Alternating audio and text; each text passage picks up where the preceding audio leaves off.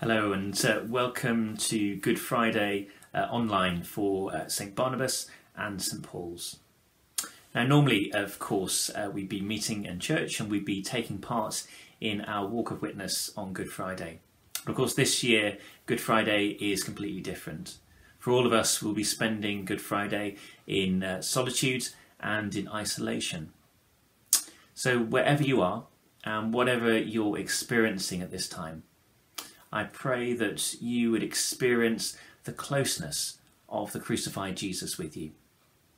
I invite you to take time today to enter into Jesus' story, that story of desolation and sacrifice. So, we're going to be uh, listening today to uh, the entire sto- story of Jesus' uh, passion and crucifixion. We'll be reading uh, from John chapter 18 and uh, 19. We'll be having some pieces of music to help us reflect on the story of Jesus' crucifixion, and then I'll be sharing some thoughts at the end. So let's pray as we begin. Almighty Father, look with mercy on this your family, for which our Lord Jesus Christ was content to be betrayed and given up into the hands of sinners, and to suffer death upon the cross who is alive and glorified with you, and the Holy Spirit, one God, now and forever. Amen.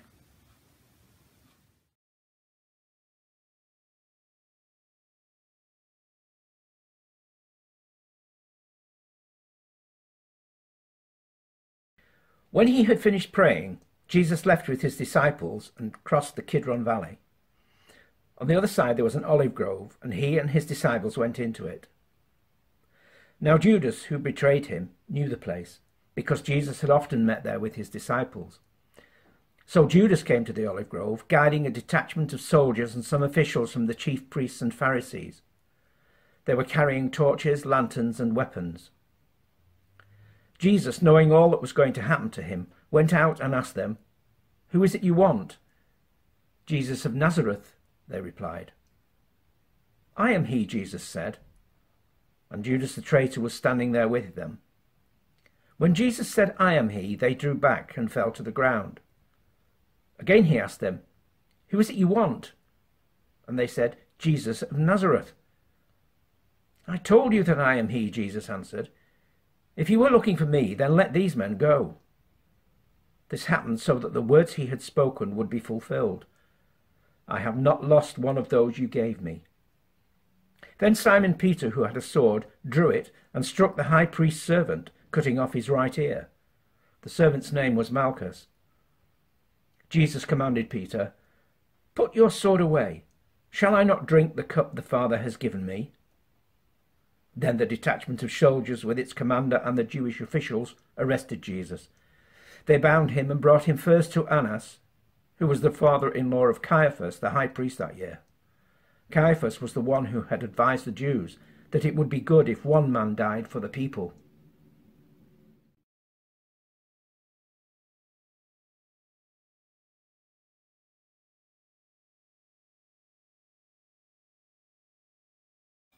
Simon Peter and another disciple were following Jesus. Because this disciple was known to the high priest, he went with Jesus into the high priest's courtyard but Peter had to wait outside at the door. The other disciple, who was known to the high priest, came back, spoke to the servant girl on duty there, and brought Peter in. You aren't one of this man's disciples too, are you? she asked Peter. He replied, I am not. It was cold, and the servants and officials stood round a fire they had made to keep warm. Peter also was standing with them, warming himself. Meanwhile, the high priest questioned Jesus about his disciples and his teaching. I have spoken openly to the world, Jesus replied. I always taught in synagogues or at the temple, where all the Jews come together. I said nothing in secret. Why question me? Ask those who heard me. Surely they know what I said. When Jesus said this, one of the officials nearby slapped him in the face. Is this the way you answer the high priest? he demanded. If I said something wrong, Jesus replied, testify as to what is wrong. But if I spoke the truth, why did you strike me? Then Annas sent him bound to Caiaphas, the high priest. Meanwhile, Simon Peter was still standing there warming himself, so they asked him, You aren't one of his disciples too, are you? He denied it, saying, I am not. One of the high priest's servants, a relative of the man whose ear Peter had cut off, challenged him, Didn't I see you in the garden? Again Peter denied it, and at that moment a cock began to crow. Were you there when they crucified Were you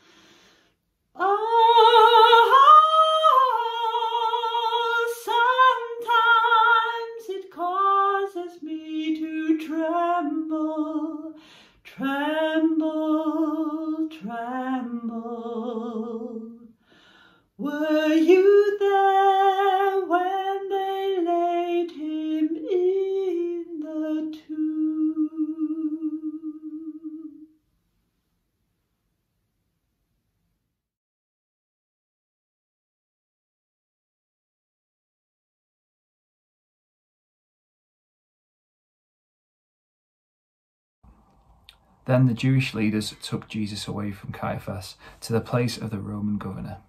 By now it was early morning, and to avoid ceremonial uncleanliness, they did not enter the palace because they wanted to be able to eat the Passover. So Pilate came out to them and asked, What charges are you bringing against this man? If he were a criminal, they replied, we would not have handed him over to you. Pilate said, Take him yourselves and judge him by your own law. But we have no right to execute anyone, they objected. This took place to fulfill what Jesus had said about the kind of death he was going to die. Pilate then went back inside the palace, summoned Jesus, and asked him, Are you the king of the Jews? Is that your own idea? Jesus asked, or did others talk to you about me? Am I a Jew? Pilate replied. Your own people and chief priests handed you over to me. What is it that you have done? Jesus said, My kingdom is not of this world. If it were, my servants would fight to prevent my arrest by the Jewish leaders, but now my kingdom is from another place. You are a king, then, said Pilate. Jesus answered, You say that I am a king. In fact, the reason I was born and came into the world is to testify to the truth. Everyone on the side of truth listens to me. What is truth? retorted Pilate. With this, he went out again to the Jews gathered there and said, I find no basis for a charge against him. But it is your custom for me to release to you one prisoner at the time of the Passover. Do you want me to release the king of the Jews? They shouted back, No, not him. Give us Barabbas. Now Barabbas had taken part in an uprising.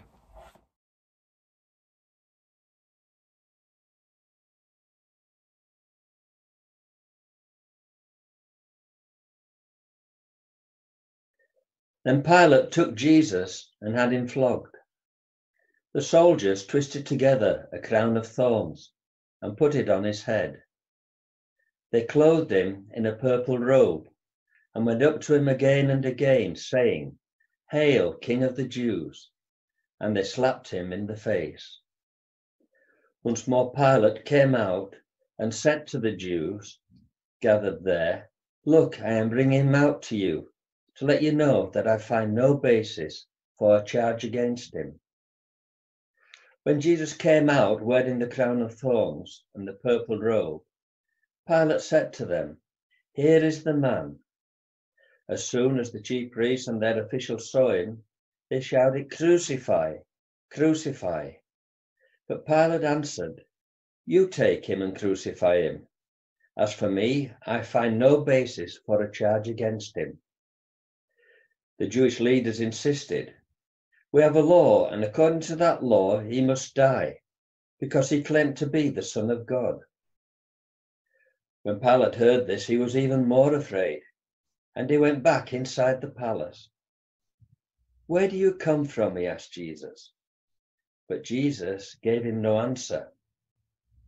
Do you refuse to speak to me? Pilate said. Don't you realize I have power either to free you or to crucify you? Jesus answered him, You have no power over me if it were not given to you from above. Therefore, the one who handed me over to you is guilty of a greater sin. From then on, Pilate tried to set Jesus free, but the Jewish leaders kept shouting, If you let this man go, you are no friend of Caesar. Anyone who claims to be a king opposes Caesar. When Pilate heard this, he brought Jesus out and sat down on the judge's seat at a palace known as the stone pavement, which in Aramaic is Gabbatha. It was the day of preparation of the Passover. It was about noon. Here is your king, Pilate said to the Jews. But they shouted, Take him away, take him away, crucify him. Shall I crucify your king? Pilate answered. We have no king but Caesar, the chief priests answered. Finally, Pilate handed him over to them to be crucified.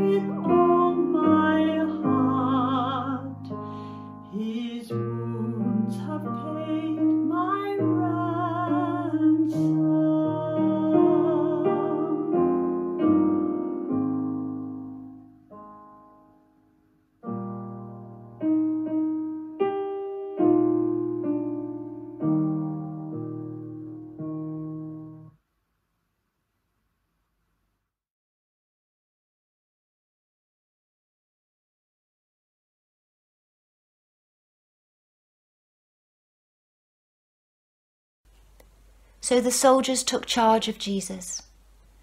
Carrying his own cross, he went out to the place of the skull, which in Aramaic is called Golgotha. There they crucified him, and with him two others, one on each side, and Jesus in the middle. Pilate had a notice prepared and fastened to the cross. It read, Jesus of Nazareth, the King of the Jews. Many of the Jews read this sign, for the place where Jesus was crucified was near the city, and the sign was written in Aramaic, Latin, and Greek. The chief priests of the Jews protested to Pilate, Do not write the King of the Jews, but that this man claimed to be the King of the Jews. Pilate answered, What I have written, I have written. When the soldiers crucified Jesus, they took his clothes, dividing them into four shares, one for each of them, with the undergarment remaining. This garment was seamless, woven in one piece from top to bottom. Let's not tear it, they said to one another. Let's decide by lot who will get it. This happened that the scripture might be fulfilled that said, They divided my clothes among them and cast lots for my garment. So this is what the soldiers did. Near the cross of Jesus stood his mother, his mother's sister, Mary, the wife of Clopas, and Mary Magdalene. When Jesus saw his mother there, and the disciple whom he loved standing nearby, he said to her, Woman, here is your son. And to the disciple, Here is your mother. From that time on, this disciple took her into his home.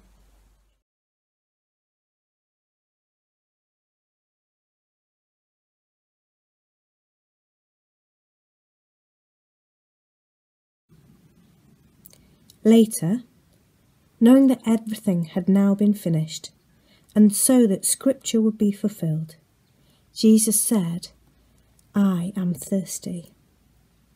A jar of wine vinegar was there, so they soaked a sponge in it, put the sponge on a stalk of the hyssop plant, and lifted it to Jesus' lips. When he had received the drink, Jesus said, It is finished. With that, he bowed his head and gave up his spirit. Now it was the day of preparation, and the next day was to be a special Sabbath. Because the Jewish leaders did not want the bodies left on the crosses during the Sabbath, they asked Pilate to have the legs broken and the bodies taken down. The soldiers therefore came and broke the legs of the first man who had been crucified with Jesus, and then those of the other. But when they came to Jesus and found that he was already dead, they did not break his legs. Instead, one of the soldiers pierced Jesus' side with a spear, bringing a sudden flow of blood and water. The man who saw it has given testimony, and his testimony is true. He knows that he tells the truth, and he testifies so that you may also believe. These things happened so that the scripture would be fulfilled. Not one of the bones of his bones will be broken. And as another scripture says, they will look on the one they have pierced. This Good Friday, an invisible enemy has brought desolation to many parts of our world. All of us are living through extraordinary times as we see our streets deserted, churches empty, business suspended, families separated, life on hold, minds filled with fear, hearts breaking, and lives lost. In a sense, we are experiencing the fear and desolation that was so commonplace in the lives of our ancestors. At some point in all of our lives, we experience this sensation of desolation. On Good Friday, it is the terrible image of the cross that speaks to us of utter desolation. While paintings and images of the cross may be uh, very commonplace today, that was not always so. There were no depictions uh, of the crucifixion of Jesus in the first few centuries of Christianity. Such was the horror and shame of the cross. Fittingly, the earliest depiction of Jesus on the cross is a crude piece of ancient graffiti called the Alexamenos Graffito, which depicts a man uh, called Alexamenos worshipping a man with a donkey's head who is on a cross. And mockingly, the description, uh, the inscription reads, Alexamenos worships his God. For me, this image says more about what Jesus endured on the cross than all the medieval and Renaissance art in later centuries. For the cross is a symbol of the many desolations that we see each day. The coronavirus raging across the world, the oppression of the poor by the powerful, the violence that bleeds into many societies across the world, the, the finality of death and the loss of loved ones. The cross speaks of death, of suffering, and of pain.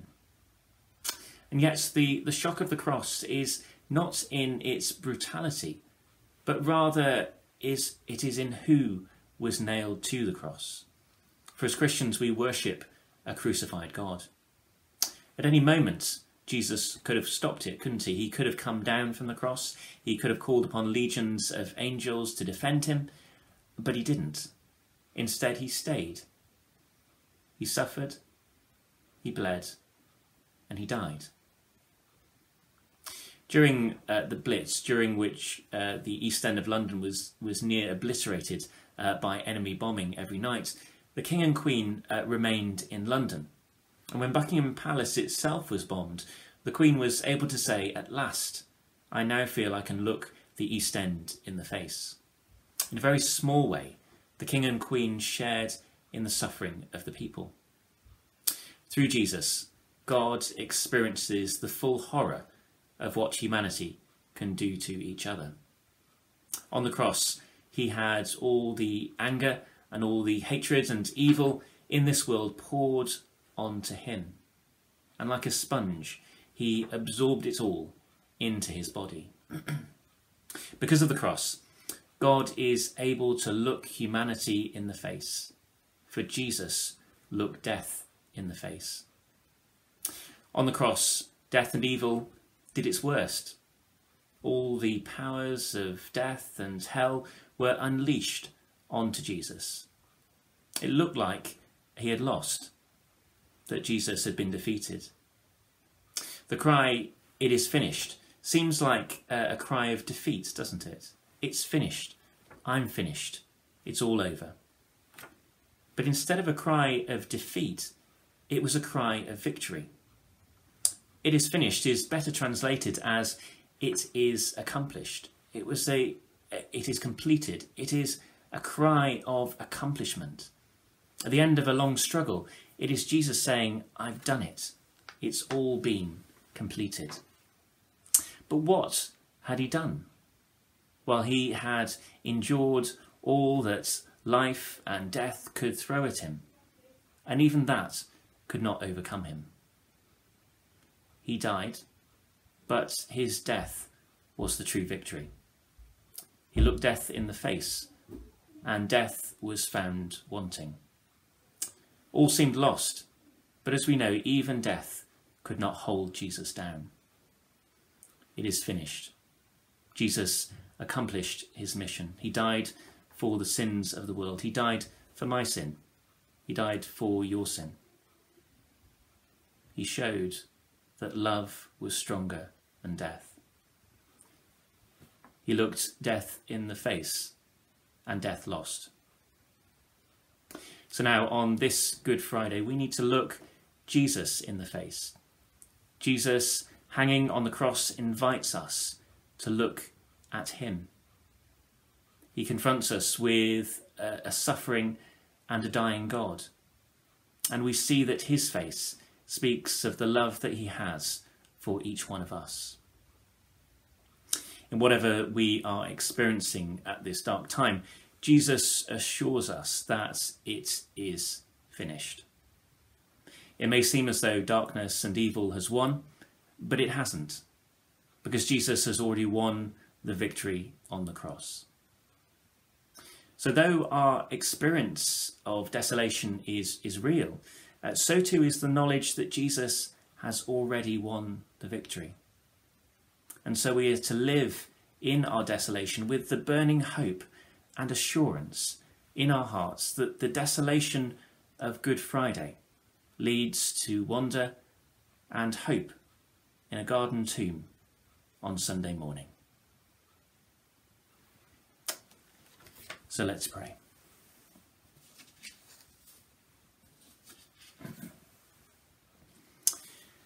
As we end our time together today, let's spend a few moments in prayer. In all that you are experiencing today, I pray that you would know of Christ's love for you and that he loved you so much that he came to the cross to die for each of us.